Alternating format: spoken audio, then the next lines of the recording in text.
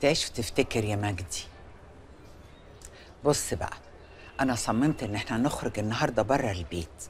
قلت تحاول تغير جو شوية وتنسى الذكريات المؤلمة اللي أنت عايش فيها بقالك سنين دي يا مجدي.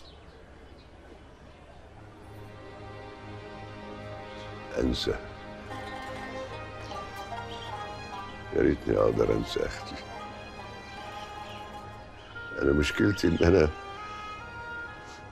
ان أنا فاكر اللي حصل زي ما يكون النهارده. لما انسى يمكن أقدر أرتاح.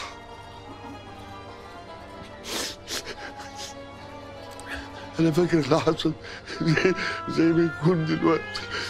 كنا طالعين من المول. قلت لهم استنوني هنا. أنا هجيب العربيه والف لكم واجي خليكم فوق الرصيف. قالوا لي حاضر.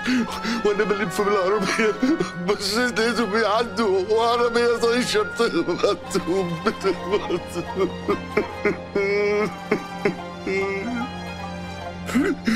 لقيتهم شايحين في دم.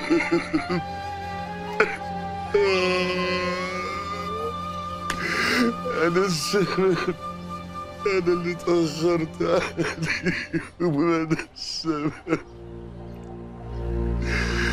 آه Watch it